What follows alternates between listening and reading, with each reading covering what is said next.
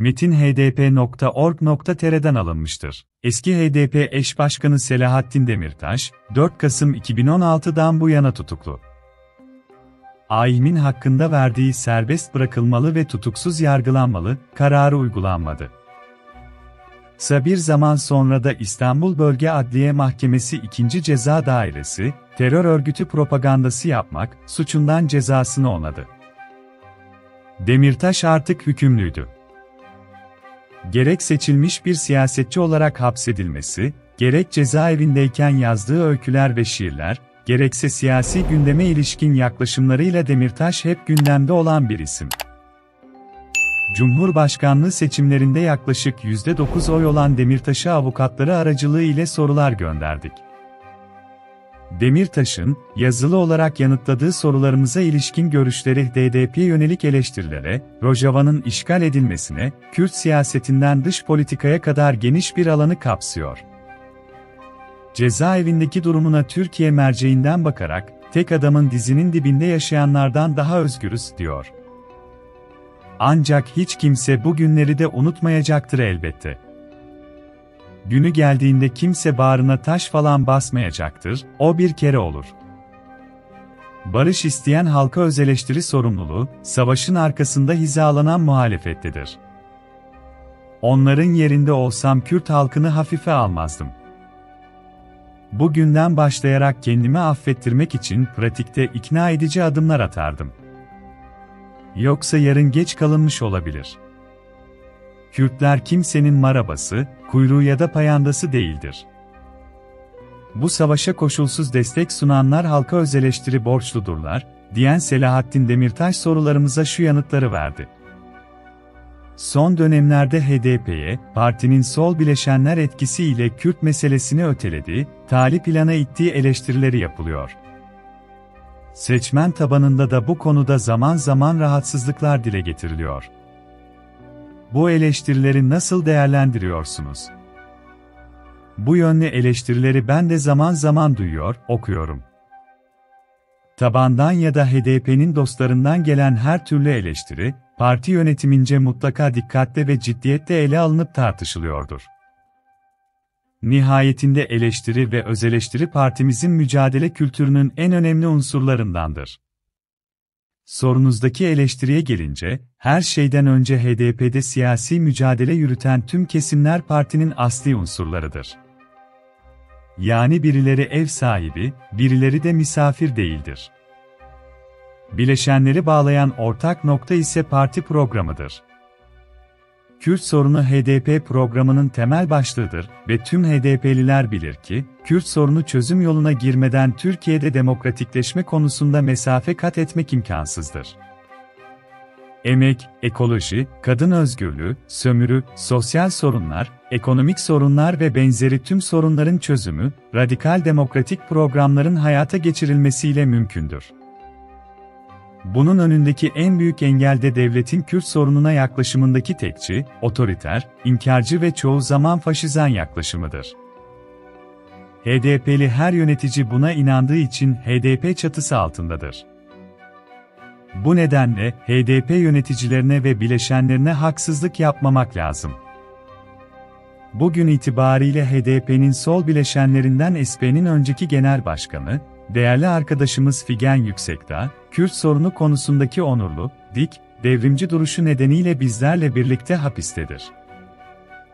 Devlet, Türkiye solundan son dönemde hapse atılan yüzlerce yoldaşımızın üstüne bu kadar sert bir şekilde gidiyorsa bunun nedeni, Kürt halkıyla yan yana durmalarıdır.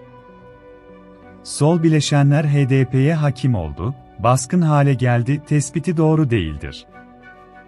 Kürt siyasetinden gelen çok sayıda HDP temsilcisi, ya hapiste ya sürgünde ya da siyasi yasaklı. HDP'de kalan arkadaşlar da ahlaksızca saldırılara rağmen canla başla, ellerinden geleni yapmaya çalışıyorlar. Parti yönetiminin büyük çoğunluğu zaten Kürt siyasetinden gelen arkadaşlardan oluşuyor. Sayının çok önemi yok ama bunu göz ardı ederek eleştiri yapmak da doğru olmaz. Kaldı ki, parti bileşenlerinden sayısal çoğunluk kimde olursa olsun, HDP çoğulcu yapısı ve radikal demokrasi anlayışı gereğince sadece çoğunluğu gözeten veya çoğunluğun düşüncesi dışındaki düşünceleri dışlayan değil, bütün parti bileşenlerini kapsayan ve ortak noktada buluşturan bir konsensüste, uzlaşmayla karar alan ve uygulayan bir partidir. O nedenle HDP'de ülkenin demokratik sorun zincirinin ana halkası konumundaki Kürt sorununu göz ardı etmek mümkün olmayacağı gibi programında yer alan bütün alanlara ve sorunlara hakkıyla eğilmeye çalıştığını söyleyebilirim. Bir kez daha vurgulamak gerekirse Kürt sorunu, tüm bileşenler için geri plana itilmesi mümkün olmayan temel bir sorundur ve çözülene kadar böyle kalmaya devam edecektir. Yine de parti yönetiminin bu eleştirileri dikkate alarak, oluşan bu algıya dair pratikte, gözle görünür tedbirler alması gerekir diye düşünüyorum. Yanlış anlaşılmaya neden olan bir iki açıklamadan yola çıkarak HDP'yi mahkum etmek doğru olmaz. Evet, HDP sadece Kürtlerin partisi değildir, bununla birlikte Kürt siyaseti her daim HDP'nin en aktif bileşeni olarak demokratik siyasetin merkezindedir. Sol bileşenler dahil, HDP'nin her bileşeni de Kürt halkının yoldaşı ve dostudur. Eleştiri olsun ancak yıpratma ve emeği hiçleştirme boyutlarına varıp da başka amaca hizmet etmesin diye düşünüyorum. Türkiye'de politik zemin giderek girileşiyor. HDP'ye yönelik dozajı her gün arttırılarak süren bir saldırı, tutuklama, belediye başkanlarını görevden alma, kayyum atamaları rutin hale geldi. Sonuçta partiyi işletmeme, siyaset dışına itme, bloke etme durumu yaşanıyor. Buna karşılık HDP 3 günlük parlamentoyu boykot kararı aldı.